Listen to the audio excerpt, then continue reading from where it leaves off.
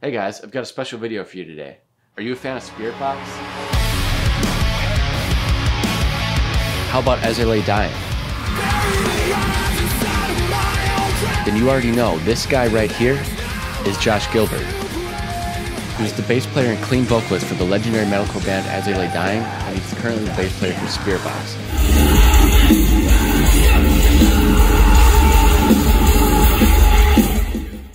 Yeah, that guy. My band Seven Cities Dead just put out a new song called Take This to My Grave featuring some epic singing by Josh. I'm going to play it for you today on guitar. Let's check it out.